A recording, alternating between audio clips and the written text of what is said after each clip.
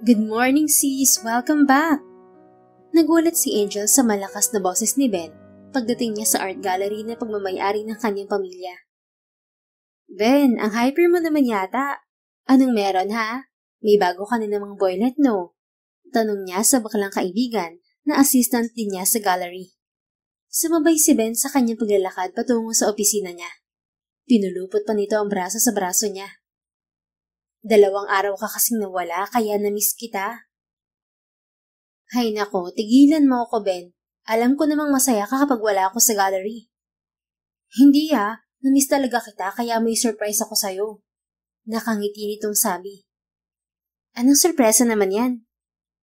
Nasa table mo ang sorpresa, sis. Ngumiti si Angel. Gustong gusto niya talaga mga sorpresa, kaya may pagmamadali siyang nagtungo sa kanyang opisina. Pagdating doon, isang folder ang nakita niya sa ibabaw ng mesa. Kinuha niya yon habang sinisipat.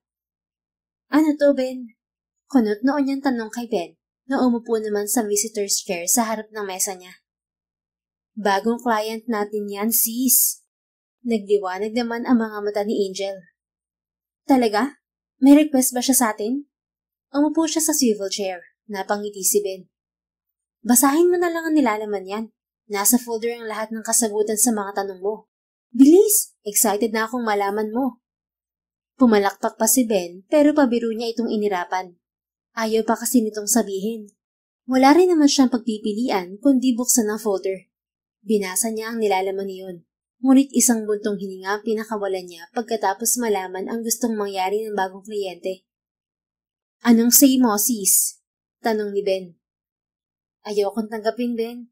Tawagan mo ang kliyente para sabihin ang sagot natin. Saad niya bago ibigay ang folder kay Ben. Hindi naman tinanggap ni Ben ang folder kaya nagtataka si Angel na tumingin dito. Hindi mapakali si Ben at mahigpit din ang hawak nito sa dalawang kamay. Mukhang kinakabahan ng bading. Umayos ng upo si Angel. Binitiwan niya ang folder sa mesa. Pinagmasdan niya ang kakaibang kilos ni Ben. May hindi ko ba sinasabi sa akin, Ben? Nakahulukip-kip niya ang tanong. Ano kasi sis, Tinanggap ko na yung offer ni client. Pumirma na rin siya ng kontrata sa atin. Sa narinig ay namilog ang mga mata ni Angel sa inis. Ano? Ben naman. Alam mo ba kung anong hiling niya sa atin? Sorry sis, nagmamadali kasi siya eh. Hindi naman kita makontak para humingi ng approval sa'yo.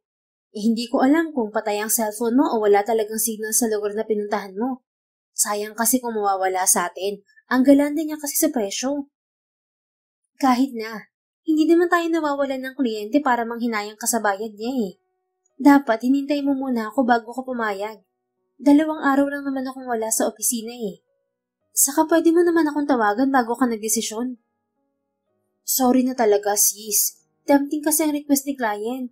Ayaw niya ng libreng painting. Gusto niya raw bago at gagawin mismo ng art director ng Majestic Art Gallery. Which is you.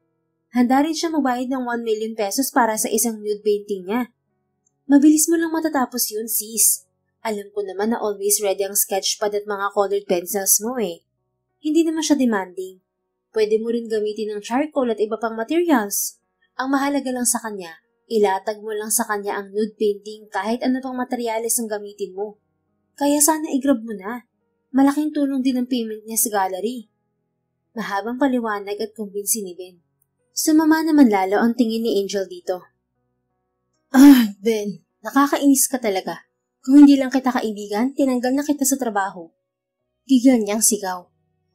Wag naman, sis. Nasanay na ako rito kasama ka eh. Kaya mo naman yan. Maning-mani sa'yo ang ipinta siya. Isipin mo na lang na bagong hamon to sa karera mo. Nakakainis ka, Ben. Okay na sana kung babae nga iguguhit ko eh.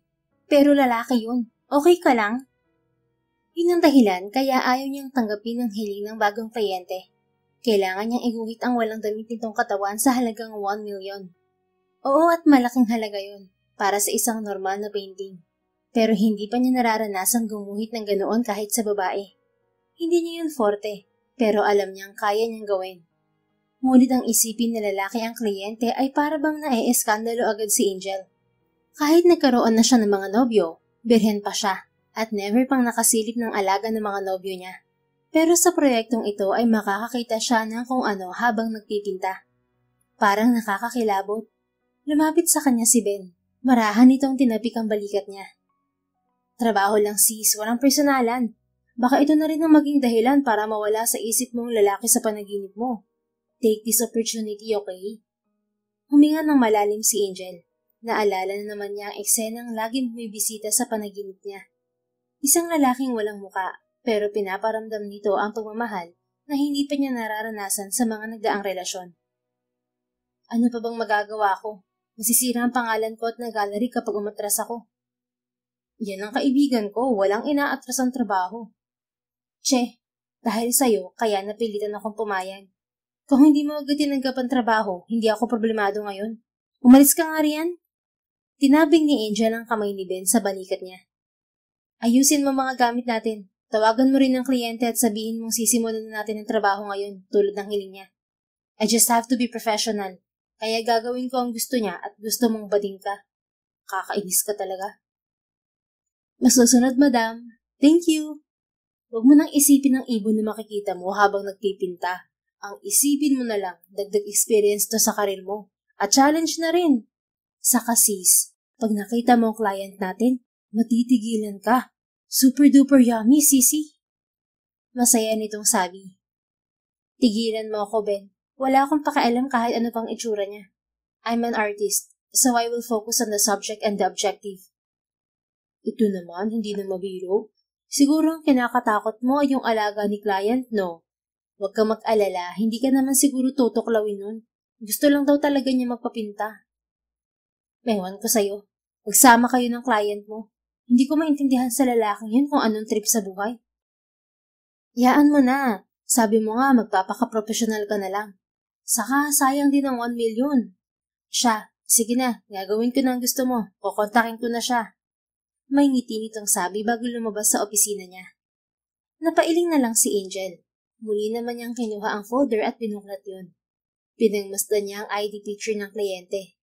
Hindi maikakaila na gwapo nga ang lalaki kahit parang Mount Everest sa taas ang nakatirik nitong buhok. Malapad ang balikat nito at may pil yung ngiti sa labi. Mahahalata ang nag-uumapaw nitong self-confidence at pagka-bad boy sa larawan pa lang. Paano pa kaya sa personal? Sana maging maayos ang una nating trabaho, Mr. Dos Samuel Vendino. Sabi niya sa sarili habang pinagmamasdan ang larawan ng lalaki. Dahil sa hiling ng kliyente, agad pinuntahan ni Angel ang address ni Dos Samuel. Kasama niya si Ben. Isang kondominium sa Makati ang lokasyon ng tirahan nito. Ilang oras lang sila sa biyahe bago nakarating sa unit nito. Si Ben ang pumindot sa doorbell habang naghihintay siya sa gilid. Hindi rin nagtagal nang bumukas ang pintuan. Magandang araw, Mr. Dos Samuel. Magiliw at masiglang bati ni Ben sa lalaki. Nag-usap na tayo, Ben. Dos na lang ang itawag mo sa akin. Kasama mo ba ang art director? Hindi na naman ni Ben si Angel para iharap kay Dos. Ano ba, Ben? Kaya kong lumakad na maayos. Hindi mo ko kailangang hilahin. Reklamo ni Angel kay Ben, pero hindi siya nito pinansin.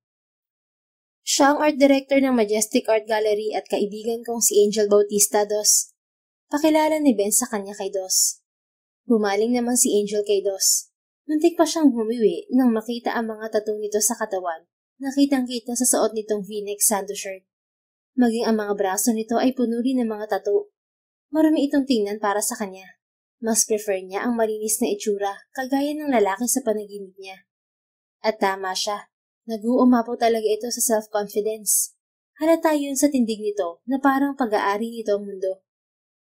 Kinagagala kitang makilala, Angel. Maangas na bati ni Dos habang nakalahad ang kamay sa dalaga. Tinanggap naman ni Angel ang pakikipagkamay nito bilang formality sa pagitan nilang dalawa ng bagong kliyente. It's Angel, Mr. Dos Samuel. Anyway, nice to meet you too. Sagot niya na agad binawi ang kamay nang humigpit ang hawak ni Dos sa kamay niya. Mamisi naman ang lalaki. Tila napapantastikuhan ito sa kilos ni Angel. Siguro napansin nito ang pagkadisgusto sa itsura niya. Dos na lang ang itawag mo sa akin, Angel. Hindi ako sanay sa formal na kilos at pananalita. Mas maganda kung magiging totoo ka sa harapan ko at hindi nagpapanggap. Ituring mo akong kaibigan at hindi isang kliyente lang. Lahat ng kliyente sa Majestic itinuturing kong kaibigan Mr. Lavendino. Mabuti kung ganun. Pumasok muna kayo para masimulan na natin ang trabaho. Malawak na binuksan ni Dos ang pintuan para makadaan sila. Unang pumasok si Ben dala ang mga gamit sa pagpipinta, kaya sumunod naman si Angel. Isinara ni Dos ang pinto bago sumunod sa kanila. Dinala sila nito sa salas. Maupo muna kayo. Hindi ko na kayo aalokin ng inumin dahil tubig at beer lang ang meron ako. Kung nauuhaw kayo, maaari kayong pumunta sa kusina para uminom. Feel at home. Saad ni Dos. Umupo si Angel at Ben sa nag-iisang three-seater sofa sa salas. Maayos naman ang loob ng unit, pero walang mga gamit doon. Siguro bagong lipat lang si Dos o madalang itong pumunta roon.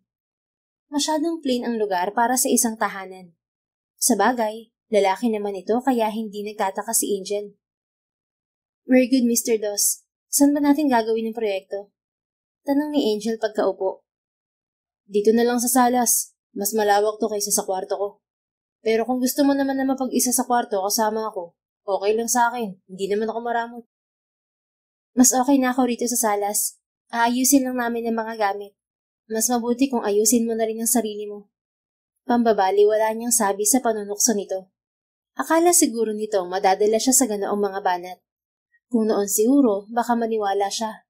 Mabilis kasi siyang bolahin ng mga lalaki. Pero nang paulit-ulit na siyang nasasaktan, natuto na siya. Hindi na umuubra sa kanya ang mga simpleng galawan ng mga lalaki na nagpapakita ng interes sa kanya. Sure, magbibihis lang ako. Tumayo si Do sa takmang aalis nang pigilan niya ito. Sandali, hindi mo na kailangan magbihis, Mr. Lovendino.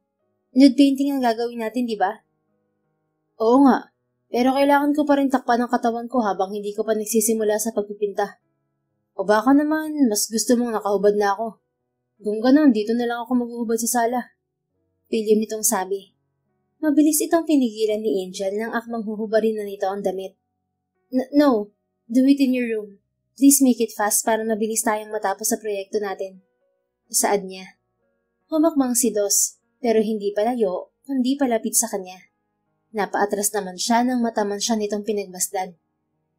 Ilang araw mo gagawin ang hinihiling kong painting, Anghel? Tanong nito na bahagyang dumukwang palapit sa dalaga. Umatras naman si Angel at umiwas ng tingin. Maximum of three days will be enough to finish my painting. Besides, colored pencil lang naman ang gagamitin ko. Mas madedefine yun ng mga tattoo sa katawan mo.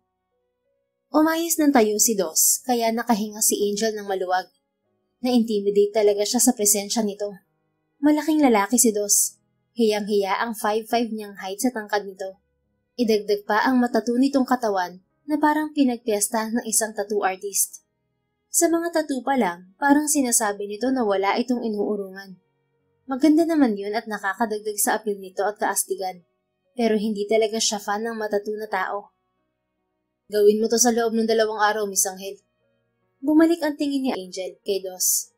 Nakangisi naman ito sa kanya. Hindi sapat ang dalawang araw para tapusin ang painting, Mr. Dos Samuel. Kontra niya rito. Bakit? Hindi mo ba kaya? Akala ko ba ikaw ang pinakamagaling na artist sa Majestic? Siguro mali ang sinasabi nila tungkol sa'yo. At marahil, dinaya rin ang ratings mo sa internet. Hindi naman pala totoo na mabilis ka magtrabaho. At hindi rin totoo na nakahanga-hanga ang mga craft mo. Nainsulto si Angel sa sinabi ni Dos. Totoo ang lahat ng sinabi nito tungkol sa kanya. Siya ang pinigmamalaking artist ng Majestic at maganda rin ang reputasyon niya sa lahat ng kliyente niya. Kahit may iba silang artist sa Majestic, pinagbibigyan pa rin niya ang hiling ng mga kliyente kapag siya ang gustong gumawa sa painting ng mga ito. Hindi na bago para sa akin ang trabahong to, Mr. Dosto Vendino. Ilang oras ang nilalaan ko sa pagpipinta araw-araw, kaya alam ko kung ilang araw bago matapos ang isang painting. Sinasabi mo ba yan para lang pagtakpan ng kakulangan mo sa trabaho? Iniinsulto mo ba ako? Hindi mo pa nasusubukan ng kakayahan ko. Ngayon pa lang. Pero kung husgahan mo na ako ay parang kilalang kilala mo na ako. Then, patunayan mo. May hamong sabi ni Dos. Um, excuse me sa inyong dalawa. Singit ni Ben sa usapan. Humarap si Angel at Dos kay Ben. Ano kaya kung mag-overtime tayo sa trabaho para matapos ang painting sa loob ng dalawang araw? Suggestion ni Ben habang nakatingin kay Angel. May trabaho rin ako sa opisina, kaya hindi pwede ang mo, Ben. Sagot ni Angel sa kaibigan. Ako muna ang bahala sa trabaho mo sa opisina. Umangat ang isang kilay ni Angel kay Ben. Ayokong maulit ang nangyari ngayon, Ben. Baka mamaya hindi lang ganitong trabaho ang tanggapin mo. Mahiipit na naman ako dahil sa'yo. Eh, hindi na, promise. Basta open ang linya ng cellphone mo para matawagan kita. Ano, overtime mo na ang painting ni Dos? Napaisip naman si Angel. Mas mapapabilis ang trabaho niya kung overtime niya gagawin ng pagpipinta kay Dos. Ayaw niya ring magtagal na kasama ang lalaki. Baka maagang pumuti ang buhok niya sa inis dito. Okay, fine. Maglalaan ako ng dagdag oras para tapusin ang painting sa loob ng dalawang araw. Okay na ba sa'yo yon, Mr. Lovendino? Umisi naman si Dos. Sure, walang problema. Mag-aayos lang ako. Commended pa ito sa kanya bago umalis. Naiinis naman si Angel nang mawala sa paningin niya si Dos. Masama niyang tiningnan si Ben na nag-aayos ng wooden frame na napagpapatungan niya ng sketchpad mamaya. Kasalanan mo to, Ben eh. Dapat tinitingnan mo rin ang attitude bago tumangkap ng kliyente.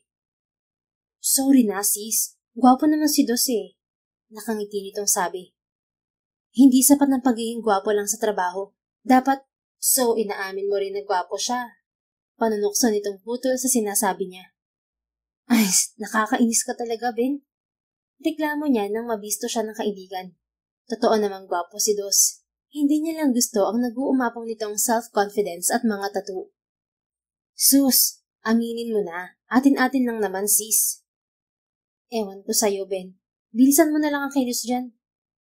Hindi naman ito nakinig at patuloy lang sa panunukso sa kanya.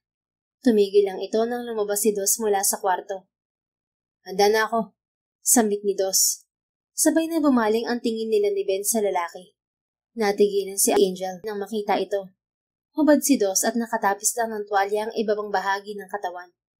Kitang-kita niya ang malaking tattoo nito sa dibdib na una niyang napansin kaysa sa matipuno nitong katawan. Umiral ang pagiging professional ni Angel sa trabaho at baliwala siyang lumapit kay Dos. Pinag-aralan niya ang tattoo nito. Sinundan niya ng tingin ang bawat guhit at minsan ay ginagamit niya ang hawak na colored pencil para baybayin ang mga yon. Masyadong detalyado at maraming pasikot-sikot ang tattoo ni Dos. Para yung abstract painting na kung hindi pag-aaralan ay hindi malalaman ng kahulugan. Dahil sanay siya sa ganoong uri ng pagguhit, mabilis niyang nakuha ang itsura ng tattoo. Alright, I got it. Masaya niyang sabi. May ngiti na nakapaskil sa kanyang labi. Nagpapahiwatig yon na madali lang para sa kanya ang gagawing painting, kahit puno ng tattoo ang katawan ni Dos. Congratulations! You made my world stop for a moment with your smile, Angel. Bulong ni Dos. Nagtataka si Angel kung bakit malakas sa pandinig niya ang bulong ni Dos. Kaya tumingin siya rito. Ganoon na lang ang gulit niya nang makitang sobrang lapit niya rito. Bigla siyang lumayo kay Dos pero natisod ang paa niya sa isa pa niyang paa at nawalan siya ng balanse. Naghanap siya ng mahahawakan, pero towel ni Dos ang nahagip ng kamay niya. Oh my hotdog! Malakas na sabi ni Ben. Mabilis namang umiwas ng tingin si Angel. Nag-init ang mukha niya nang makita ang sandata ni Dos. Akala niya may suot pa ito sa ilalim ng towel. Akala niya lang pala yun, dahil literal na walang saplot ang lalaki, at proud na proud pa itong nakatayo sa harapan niya. Hindi man lang nahiya sa kanya. Sa tingin ko, kailangan mo rin pagmasdan ng bibi ko para makuha mo ang tamang itsura nito sa painting. Ayoko namang maging mukhang juta ito sa painting mo. Biro nito na may pilyong ngiti. Hindi pinansin ni Angel ang sinabi ni Dos. Tumayo siya at lumapit kay Ben. Tinapik pa niya sa noo ang bading dahil para itong natulala sa alaga ni Dos. Ayusin mong pwesto niya, Ben. Ako na riyan. Utos ni Angel kay Ben. Kinuha niya rito ang foldable chair na dala nila at siya na rin ang nag-ayos ng iba pang mga painting materials. Iniiwasan niya talagang mapunta kay Dos ang paningin niya. Lihim siyang humuhugot ng malalim na hininga para sa gagawin. Kailangan niya yun para magawa ng maayos ang trabaho. Hindi siya dapat maapektuhan sa hubad nitong katawan. Kailangang matuon ang atensyon niya sa pagpipinta. Angel, handa na ang sandata. Este, handa na si Dos para ipinta mo. Untag ni Ben. Saka pa lamang humarap si Angel sa mga to. Nakita niyang nakaupo si Do sa sofa. Bahagyang nakahilig ang katawan nito sa pagitan ng sandalan at armrest ng upuan, habang nasa likuran ng ulo ang dalawang kamay. Nakaapak ang isa nitong paa sa sahig habang nakaangat naman ang isa sa sofa. Sa ganoong anggulo, Malinaw niyang nakikita ang tattoo at ang alaga nito. Gusto niyang pamulahan. Kahit kailan ay hindi yata siya masasanay sa ganitong forte. Just go, Angel. Focus on your subject. Don't be affected. Isipin mo ang quality ng trabaho mo, hindi ang kung ano-ano. Kastigo niya sa sarili. Paano ba naman kasi? Naiinis siya kay Dos. Pangiti-ngiti pa ito sa kanya na tila inaakit siya na naiinis. Bumutong hininga siya at dinampot ang lapis. Oh, okay. Huwag kang gagalaw hanggat wala ang hudyat ko para gumalaw ka. Saad niya na nilalabanan ng pagkailang. Walang problema. Ayusin mo pupupinta sa baby ko ha. Baka hindi niya magustuhan at magalit siya. Ikaw ang magiging responsable para humupa ang galit niya. Hindi yun magiging madali, Angel. Nakangising sabi ni Dos. Pakiramdam ni Angel ay mas lalong nag-init ang kanyang muka sa sinabi ni Dos. Masyado itong bulgar para sabihin ng ganoong bagay sa kanya. Nararamdaman niya kanina pa na sinasadya siya nitong inisin. Pero hindi siya papadaig sa emosyon niya. Trabaho ang ipinunta nila roon, kaya kailangan magpaka-professional siya hanggang sa uli. You need to concentrate, Miss Angel. Baka wala kang matapos ng trabaho kung kakabahan ka. Kalmado pa ang alaga ko kaya huwag kang kabahan. Hindi pa siya ready para sumabak sa laban. Muling sabi ni Dos. Bahagyang pumikit si Angel at bumuntong hininga. Marahil din ay sinasadya yun ni Dos para mapatunayan na peke ang mga credentials niya sa trabaho. Pero syempre, hindi siya papayag na bahira nito ang maganda niyang reputasyon. Pagmulat niya ng mga mata, nakatuon na kay Dos ang tingin niya. I know my job, Mr. Dos Samuel, but I need your cooperation. Stop putting an uncomfortable situation between us. We're here for a business, so please act like we're business partners. Keep silent for a moment and let me do my job. As you wish, my angel. Nakangisi nitong sagot. Thank you for... Wait, what did you say? I said as you wish, Miss Angel. Pag-uulit nito habang nakangisi. Hindi na nagkomento pa si Angel at sinimulan na niya ang trabaho. Hanggat maaari, nag-focus muna ang tingin niya sa itaas na bahagi ng katawan ni Dos. Sa una, uncomfortable siya, pero nang magtagal, naging komportable na rin siya sa hubad nitong katawan. Tuloy-tuloy ang trabaho niya. Tumigil lang sila nang sumapit ang tanghali at magkakasabay silang kumain ng in-order na pagkain ni Ben. Pagkatapos kumain, nagpatuloy ulit siya sa trabaho. Tumagal sila hanggang alas 9 ng gabi bago umalis sa unit ni Dos. Iniwan niya rin ang mga gamit sa unit nito at babalik na lang kinabukasan para ipagpatuloy ang pagpipinta. Kinabukasan, mag-isa na si Angel na bumalik sa unit ni Dos. Naiwan sa opisina si Ben para gawin ang iba pa nilang trabaho. Magandang umaga, Angel. Bati ni Dos nang pagbuksan siya nito ng pintuan. Nakatapos lang ito ng towel at halatang bagong ligo dahil basa pa ang buhok. Morning. Inaantok niyang bati pabalik. Pumasok siya sa loob at nagtungo sa pwesto ng sketchpad niya. Hindi ka ba nakatulog ng maayos kagabi, Angel? Tanong ni Dos na umupo naman sa pwesto nito. Bumuntong hininga si Angel. Nangihina siya sapagkat hindi niya nakita sa panaginip ang lalaking lagi niyang inaasahang makita sa tuwing matutulog siya. Simulan na lang natin ang trabaho. Matamlay niyang sagot. Wala siyang ganang makipag-usap kay Dos. Binuksan ni Angel ang sketchpad kung saan naroon ang hindi pa natatapos na painting ni Dos. Tulad kahapon, inalis ulit ni Dos ang takip na towel sa ibabang bahagi ng katawan nito nang magsimula na siyang gumuhit. Wala namang kabastusan na lumalabas sa bibig nito, kaya nakafocus siya sa ginagawa. At kung babastusin man siya ni Dos dahil nag-iisa siya ngayon, sisiguraduhin niyang mababasag ang itlog nito. Para sanpat nag-aral siya ng taekwondo para sa proteksyon sa sarili. So far, wala pa siyang nasasampulan ng skills niya.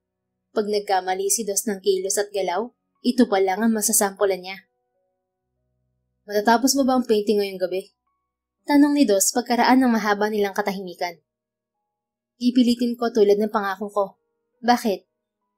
Karawan ng panganay kong kapatid bukas. Kailangan kong ibigay ang regalo sa kanya. Regalo? Tanong niya na bahagyang tumigil sa ginagawa. Oo, ireregalo ko sa kanyang painting na yan. Gusto ko lang ipakita ang effort na ginawa ko para bigyan siya ng regalo. Siguradong matutuwa yun kapag nakita ang maganda kong katawan. Galingan mo, Anghel. Sa mga kamay mo nakasalalay ang kasiyahan ng kapatid ko. Sigurado ka bang matutuwa ang kapatid mo rito? Kung ako ang tatanungin, hindi ganito ang gusto kong regalo mula sa kapatid ko. Sambit niya kahit hindi naman yun mangyayari dahil nag-iisa siyang anak. Magkaiba naman kayo ni Kuya Uno. Mahal na mahal kami ng panganay namin. At kahit anong ibigay namin sa kanya, matutuwa siya. Kaya siguradong matutuwa yun sa regalo ko. Nakangisi nitong sabi. Sa isip ni Angel, parang may naglalarong kalokohan sa isip ni Dos habang sinasabi yun. Malamang ay trip lang nitong asarin ng kapatid. Pero grabing trip naman. Isang milyon talaga na painting. Sa isip-isip niya ay tila yata wala nang magawa sa pera ang lalaking to. At pati nude painting ay gagastusan ng malaki para ibang regalo. Paano na lang kung may asawang kapatid ni Dos? Matuwa kaya yun pag nakita ang painting? Sa bagay, kung gaya niyang mahilig sa painting, she will appreciate it. Okay, tatapusin ko to ngayong gabi. Sagot na lang niya at muling bumalik sa pagpipinta. Pagkatapos ng proyektong to, magkikita pa ba tayo, Angel? Napahinto sa pagguguhit si Angel. Nakalapat ang kanyang lapis sa sketchpad. Hindi niya inaasahan ang tanong na yun mula kay Dos. Hindi ko alam. Pwedeng oo, pwedeng hindi. Depende sa sitwasyon at pagkakataon. Okay. Mahina nitong sabi. Muli naman siyang nagpatuloy sa ginagawa. Naging tahimik sila at walang nagtangkang magsalita. Tumitigil lang sila kapag break time at muling babalik sa trabaho. Naging pabor kay Angel ang pagiging tahimik ni Dos para hindi siya madistract sa trabaho. Namalaya na lang niya ang pagsapit ng gabi at konting polish na lang ay tapos na rin ang nude painting ni Dos. Kahit nakakaramdam na siya ng antok, pinilit pa rin niyang tapusin ang painting. Sa wakas natapos rin. Bulalas niya nang tuluyang matapos ang pagpipinta. Ibinigay niya ang artwork kay Dos na ngayon ay nakatapis na ulit ng towel sa ibabang bahagi ng katawan. Nice! Binabawi ko ng sinabi ko sa iyo kahapon. Magaling ka talaga at mabilis magtrabaho. Thank you for your hard work, Miss Angel. Don't think about it. It's part of my job. Kung may kailangan ka pa, kausapin mo na lang si Ben. We will rush putting it in the frame para mapick up mo na yan tomorrow before lunch sa gallery. Sagot niya habang inaayos sa mga gamit. Tumingin siya sa relong pambisig. Kailangan ko nang umuwi. 2 a.m. na pala. Grabe, sobra-sobrang overtime ang ginawa natin ah. Dugtong niya.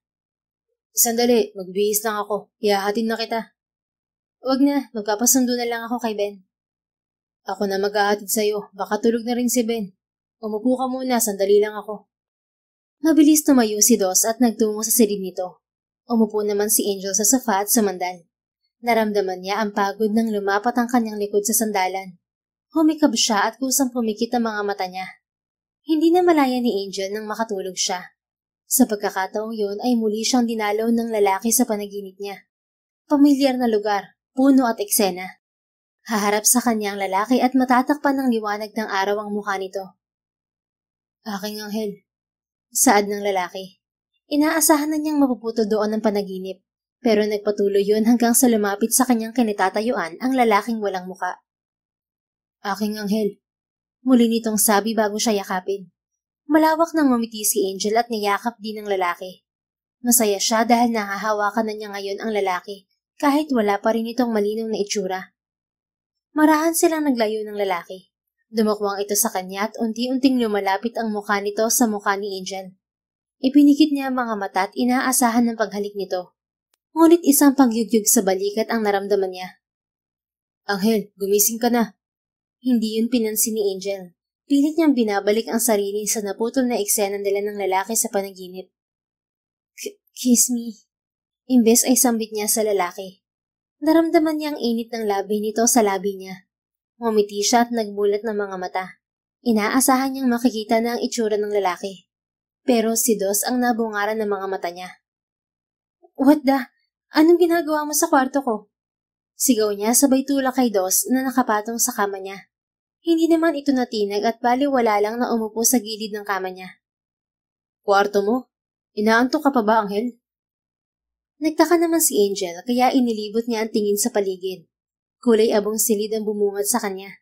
Taliwas yun sa malaking painting sa pader ng kwarto niya, kung saan niya iginuhit ang lalaki sa kanyang panaginip. Na, nasan ako? Bakit wala ako sa kwarto ko? Nakalimutan mo na ba ang nangyari? Nakatulog ka sa sa salas pagkatapos ng trabaho mo. Eh bakit narito ako at wala sa salas? Dahil maginoo ako at binuhat ka para maging komportable ang pagtulog mo. Muntik na siyang umingos nang marinig ang sinabi nitong maginoo. Parang hindi yun bagay rito. Eh anong ginagawa mo sa ibabaw ng kama? Bakit sobrang lapit ng mukha mo sa akin? Ah, uh, yun ba? Ibinigay ko lang ang hinihiling mong halik. Nakangising sagot ni Dos habang kumikindat pa. Ano? Hinalikan mo ako? Oo, hindi ko naman kasalanan yun dahil tinupad ko lang ang hiling mo. Maginoo nga kasi ako. Nakangiti nitong sabi. Hindi ka maginoo. Bastos ka! Bastos! Pinato niya ng unan si Dos pero sinalo lang nito ang unan at ibinalik sa kama. Nung nagubad ako sa harapan mo, hindi mo ako sinabihan ng bastos. Tapos ngayon, halik lang, bastos na agad. Trabaho lang yun. Pero ang ginawa mong paghalik sa akin, hindi. Sinadya mo na yun. Bastos ka. Ay, bumangon ka na nga riyan. Kanina pa tumutulog ang cellphone mo. Sagutin mo muna at naririndi na ako. Grabe ka rin palang matulog, para kang muntika. Mabilis naman siyang bumangon at kinuha ang cellphone sa bulsa niya. Ilang missed calls mula sa mommy niya ang natanggap niya. Meron ding mga mensahe mula rito. Hindi ka ba nagpaalam sa mommy mo para paulit-ulit kanyang tawagan? Tanong ni Dos na nakasilip sa cellphone niya. Huwag kang chismoso. Lumabas ka na pwede. At umalis ka riyan sa ibabaw ko. Mukhang nag enjoy ka na. Kumilos naman si Dos. Hindi pwede. Kwarto ko to kaya ikaw ang lumabas. Sagot nito at humiga sa kama. Umisod naman si Angel para may iwasan si Dos. Maliit ang kama at hindi kasya ang dalawang tao roon. Te teka, saan ka natulog kung ginamit ko ang kama mo? Ilang oras ba ako nakatulog? Humisi naman si Dos. Hindi mo rin ba natandaan yun? Ako ang ginawa mong unan at hanggang umaga nakayakap ka sa akin. Mabuti nga napigilan kong magalit ang sandata ko. Kung nagkataon, mapapalaban ka sana. Mabilis namang umalis si Angel sa kama. Dinampot niya ang unan at hinampas sa mukha ni Dos na nakahiga pa rin doon. Bastos ka talaga! Bastos! Sigaw niya rito at lumabas sa silid. Tinawagan niya si Ben para magpasundo at para makuha na rin ang mga gamit nila sa kondo ni Dos. Kailangan na rin nilang ilagay sa frame ang painting ni Dos. Sa ibaba ng gusali niya, hinintay si Ben. Ayaw niyang makita si Dos dahil naiinis siya rito at sa posibilidad na baka tama ang sinabi nitong ginawa niya itong unang kagabi. Ang sarap pa naman ng tulog niya dahil kasama niya ang lalaki sa panaginip. Yun pala, nasa kondo siya ni Dos. Mabuti wala itong ginawa sa kanya habang natutulog siya. Hindi naman nagtagal nang dumating si Ben. Kinuha lang nito ang mga gamit sa unit ni Dos habang naghihintay siya sa sasakyan nito. Huhulaan ko kung bakit ka nakasimangot ngayon. Hindi mo ulit nakita ang mukha ng lalaki sa panaginip mo, no? Sambit ni Ben habang nagmamaneho. Yun kasi ang laging dahilan kapag masama ang gising niya sa umaga. Nakakainis kasi si Dos, Ben. Ang yabang at ang presko-presko niya. Nakakairita. Nakanguso niyang sagot. Talaga? Bago to ah. Ano bang ginawa niya? Tumatawang tanong ni Ben. Hindi naman sumagot si Angel. Mas lalo lang siyang kukulitin ni Ben kapag nalaman nito ang nangyaring paghalik ni Dos sa kanya. Tinawagan na lang niya ang mommy niya para ipaalam kung nasaan siya. Humingi rin siya ng paumanhin dito at sinabi ang totoo na nakatulog siya sa bahay ng kliyente niya at hindi nakauwi tulad ng pangako niya. Naging panatag naman ang mga ito kaya nangako siyang hindi na yun. Dalawang linggo lumipas pagkatapos ng huling pagkikita nila Angel at Dos. Pero nagulit si Angel pagising isang umaga. Hindi siya makapaniwala habang nakatingin kay Do sa harap ng hapagkainan at ganado ito sa pagkain kasama ang mga magulang niya. The best ang luto mo, tita. Puri ni Do sa luto ng mami ni Angel. Anong ginagawa mo rito? Bakit ka nakikikain sa bahay namin? Malakas na tanong ni Angel kay Dos. Bumaling naman sa kanya si Dos, maging ang mga magulang niya na nasa mesa. Good morning, Angel. Ang sarap pala talaga magluto ng mami mo. Halika, kumain tayo. Paanyaya nito sa kanya na tila ito ang nakatira sa bahay nila at siya ang bisita. Dumulog naman si Angel sa mesa. Hindi dahil sa paanyaya ni Dos, kundi dahil sa masusing tingin ng daddy niya. Hindi ka ba talaga nobyo ng anak ko, iho? Baka tinatago niyo lang ang relasyon niyo. Seryosong tanong ng daddy ni Angel kay Dos. Tumigil sa pagkain si Dos at bahagyang bumaling sa daddy ni Angel. Hindi po talaga, tito. Kliyente niya po ako sa Majestic Art Gallery at kakatapos lang po ng proyekto namin. Magalang na sagot ni Dos. Hindi naman inaasahan ni Angel ang magalang nitong pakikipag-usap sa pamilya niya. dahil sa pagiging maangas ng kilos at itsura nito. Akala niya kasi ay bastos din ang ugali nito sa matatanda. Hindi naman pala. Mukha lang itong gwapong sanggano, pero magalang at inaamin niya na maginoo din naman. Angel, don't judge a book by its cover na, di ba? Sermon niya sa isip. Bakit hindi mo ligawan ng anak ko? Sabi ng ama ni Angel na ikinabigla niya. Daddy? Mabilis niyang saway sa daddy niya. Pakiulit po, tito. Saad naman ni Dos. Ang sabi ko, bakit hindi mo ligawan ng anak ko? 27 na yan at pwede nang mag-asawa. Sa dami ng lalaking dumaan sa buhay niya, lagi naman siyang sinasaktan.